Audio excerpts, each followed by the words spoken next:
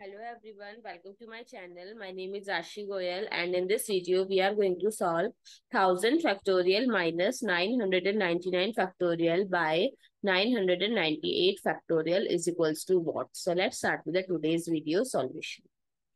So first I'm going to split it to solve 1000 factorial by 998 factorial minus 999 factorial by 998 factorial.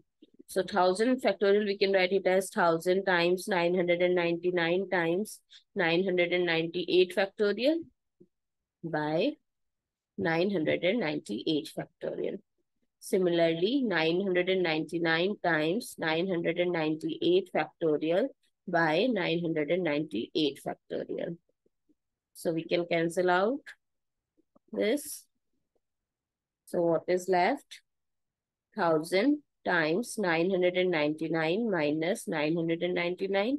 So if I'll take 999 as common, so 1000 minus 1. So 999 I can write it as 1000 minus 1, 1000 minus 1.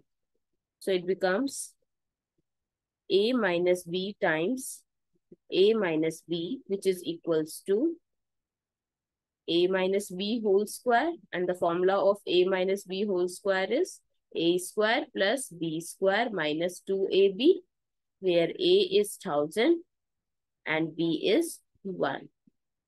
So 1000 minus 1 whole square 1000 square plus 1 square minus 2 times 1000 times 1.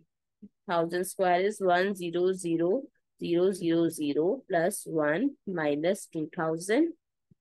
So 1, 0, 0, 0, 0, 1 minus 2000. 1 minus 0 is 1, 0, 0. It's become 8, 9, 9. So 998001 is our final answer. I hope it's clear and you find it useful. So please give us a thumbs up and do subscribe to my channel. Stay tuned.